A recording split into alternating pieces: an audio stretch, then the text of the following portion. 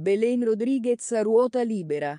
Sul suo profilo Instagram, la modella argentina ha risposto a una serie di domande dei fan, chiarendo diverse questioni relative alla sua vita privata.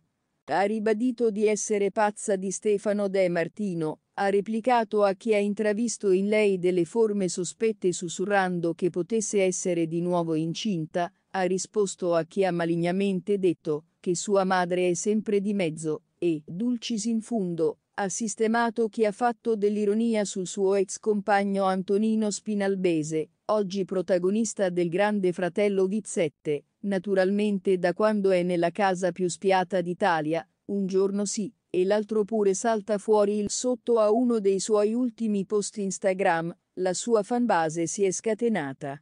La Rodriguez, a differenza di altre volte, ha trovato il tempo per rispondere a molti followers. Tanto zucchero per il compagno, anzi marito come lei continua a chiamarlo, Stefano Demart, un utente le ha detto che da quando c'è stato il ritorno in love con il conduttore campano, sembra che sia diventata ancora più bella. La modella ha confermato. Hai ragione, l'amore ti fa brillare. Capitolo critiche. Qualcuno ha criticato il fatto che sua madre, Veronica Cozzani, sia spesso con lei, lasciando maliziosamente intendere che è un'impicciona e che non dovrebbe sempre stare in mezzo. La replica di Belen è stata da applausi.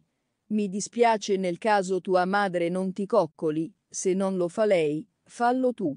Rosicone sistemato.